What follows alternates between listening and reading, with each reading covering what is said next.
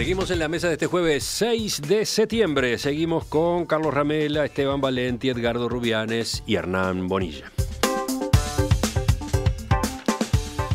La policía detuvo el martes a Jairo Sosa, uno de los integrantes de la banda de narcotraficantes Los Chingas, que había anunciado que iba a matar al sociólogo Gustavo Leal, director de Convivencia y Seguridad Ciudadana en el Ministerio del Interior.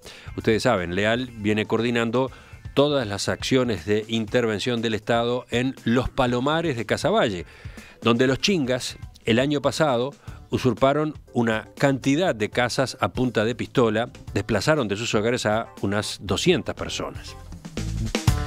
Según informó el observador, ayer la policía montó un operativo para la captura del delincuente a partir del testimonio de testigos protegidos y la interceptación de llamadas en las que Sosa manifestaba esa intención, la de asesinar al jerarca. El delincuente es hijo de Mónica, líder de los chingas, que se encuentra presa desde el mes pasado por usurpación de vivienda y por robo de energía eléctrica y agua. Pero bueno, además tiene sus propios antecedentes. Según la policía, sería responsable al menos de dos homicidios. Uno de ellos, el de su abuelo, Waldemar Ross, a quien mató porque discrepaba con la estrategia de la banda de apropiarse de apartamentos del barrio bajo amenaza de muerte a los vecinos. Los chingas, con este eh, intento eh, fallido de asesinato y planificado, demuestran que tienen un gran olfato. Porque si hay alguien que yo salvaría del Ministerio del Interior, de los pocos que salvaría, capaz que el único que salvaría, es Gustavo Leal. ¿ah? Eh, no, no, pero mano lo digo, es que vi en un Twitter, viste que yo soy mano larga. No tenía claro cómo iba a venir el tema, pero ahora lo veo. Eh, no, no, yo no lo pedí, ¿eh? Yo no lo pedí, pero me parece buena idea. Primero porque se sume a otra cosa que ya está adquiriendo cambios no pequeños, ¿no? Porque que planifiquen el asesinato de uno de los jerarcas principales del Ministerio de Interior, a ver, el sicariato está cambiando de, clase. ¿Cómo está cambiando de clase el asalto en, del blindado en la calle eh, agraciada enfrente al Palacio Legislativo con fusiles de asalto eh, cometido a las 18 y 30, donde yo me puse a averiguar y les voy a dar dos datitos, solo dos datitos. Datito uno, el que baja con la bolsa de dinero y el que lo acompaña y entra al banco, por reglamentación tiene que ir desarmado. Así como lo oyen, desarmado. Quedan los escopeteros, que no es lo mismo tener una escopeta que tener un fusil de asalto. Yo vi las cápsulas que cayeron, tengo duda que sea 762-39 o 762-54. FAL o, o acá. Es lo único, no es lo mismo. A los que le tiraron no tenían armas porque van sin armas.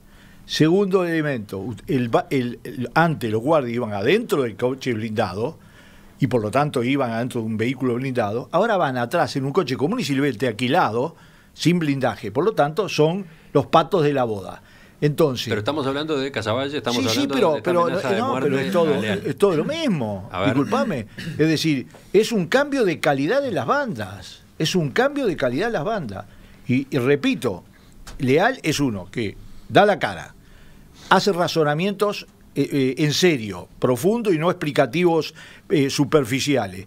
Y además se ve que se ha ganado, porque tocó un tema muy sensible, el odio de una de las bandas principales que asolaba no solo esa zona, sino todo, porque hay que saber una cosa, eh, eh, eh, las chingas operaban en todas las ciudades donde necesitaban operar, ¿eh? mataban en todos lados ¿eh? y, mataban hasta los parientes. Bueno, ¿quién sigue? Carlos. Yo creo que este, sin, dominar tanto de calibres y de balas y de armas automáticas o de fusiles de guerra. Mientras Esteban hacía la descripción, Carlos miraba con una sonrisa socarrona. Que Esteban maneja. Yo creo que lo grave de este tema es que pone en evidencia a las cosas nuevas que nos empezamos a acostumbrar cómo el delito que avanza, cómo el delito institucional, grave, pesado, de narcotráfico, de bandas y demás, empieza a imponer sus códigos en nuestro país y llega a cosas que hasta ahora leíamos en algunos cuentos o veíamos en algunas películas,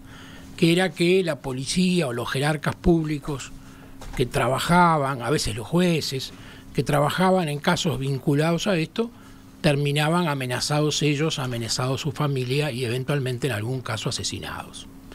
O sea, esto es grave, esto es alarmante, esto demuestra que el avance de este tipo de delincuencia este, es incontenible, nos va pasando por arriba y está llevando al país a conocer cosas increíbles. En este supuesto y en este caso, creo que lo único que corresponde es la solidaridad con el jerarca y con la institución, Ministerio Interior, porque evidentemente todos los uruguayos, más allá de banderas políticas, tenemos que estar preocupados que gente que para bien o para mal está luchando para solucionar estos problemas se vea enfrentado a estas situaciones tan graves y tan, tan peligrosas, ¿no? Porque hay una amenaza de vida que uno no sabe si termina en uno, termina en un hijo, termina en la mujer o termina donde termina. Es muy triste, es claramente eh, consecuencia del avance de la delincuencia y sobre todo de la delincuencia especial que está atrás de la droga y de los, del crimen organizado. Y bueno, es una advertencia más para trabajar duramente, aunque la experiencia demuestra que más allá de errores y aciertos que se puedan señalar, en muchas partes del mundo este es un fenómeno que se instala a partir de la fuerza de la droga y que es muy difícil de derrotar. Yo creo que, que es parte del avance, pero también es la, señal de que hay una, hay una forma de frenar ese avance. Y tiene que ver justamente con por qué ocurre esto de, de la amenaza a Gustavo Leal. Eh, esto lo vimos los últimos, el último los últimos dos meses, eh, que en, el vocero de, que, en que se transformó Gustavo Leal de la política eh, con respecto a la zona de Casaballe, la política pública, justamente hay una articulación en el relato que se conforma sobre elementos de seguridad, elementos sociales, elementos legales, eh, trámites judiciales. O sea, uno observa que lo que se ha operado en los últimos dos meses, este, por lo menos lo que se realiza eh, en forma eh, pública, quizás por lo que uno ha escuchado ya tiene algún cierto tiempo, por lo menos desde antes del fin de año pasado ya se había generado todo un, una movida para buscar información, para eh, plantear este, alternativas de cómo enfrentar. Y yo creo que en este caso lo que justamente se expresa es eso. Leal, eh, a través del vocero y de la expresión del vocero, de la política que se está desarrollando, uno veía una, articulación en, el, en, la, que era tan, tan eh, planteada, cuestionada su carencia en el pasado.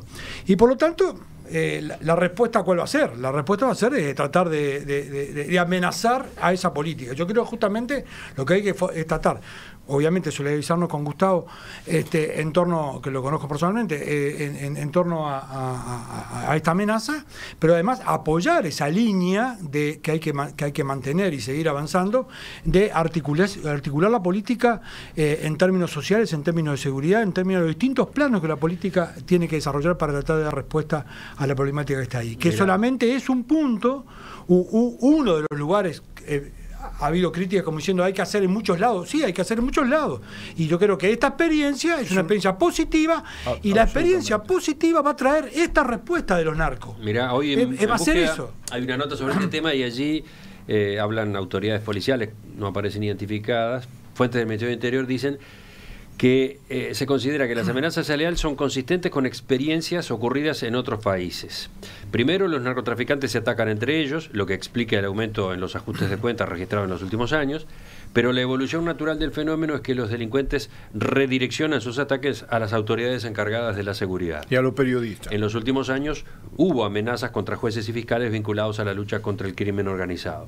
Pero además, para el gobierno también es una señal de que el operativo en ese barrio está teniendo éxito. Exacto. Las amenazas que derivaron en que la policía dispusieron a custodia leal se produjeron horas después de que el Ministerio Interior derrumbara, porque eso fue lo que ocurrió más recientemente, ¿no? El sábado se derrumbó una decena de viviendas en los Palomares, entre ellas entre ellas, nada menos que la, casa, de Sosa, ¿no? La casa de la madre. Que la pregunta que yo me hago, que, surge a partir de esto, es cómo alguien que asesinó al abuelo se salva de ir a prisión porque lo mandan a, liber, a, es? al, Vilar de Bo este, por, por, por, insano mental, al mes es liberado y lo tenemos nuevo en la vuelta. Entonces, acá no está fallando eh, la eh, ni, el, ni la política de seguridad, no, no, falla el Ministerio de Interior, no falla otros, otros ámbitos, sino falla la justicia en que sus ámbitos de donde se, se discurre el análisis de la situación de este asesinato de su abuelo termina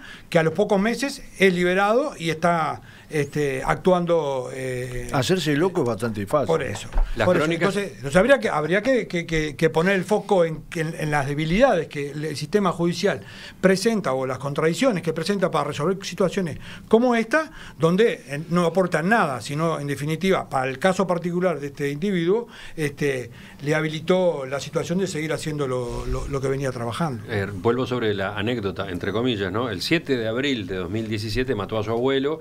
Waldemar Ross, de 68 años, delante de su abuela y de varias tías. Dice el observador, Jairo discutió con su abuelo porque el veterano delincuente, tenía siete antecedentes, no era, partidario de realizar acciones que afectaran a los vecinos. Jairo, en cambio, defendía lo que luego sería un operativo masivo de desalojo de vecinos a punta de pistola.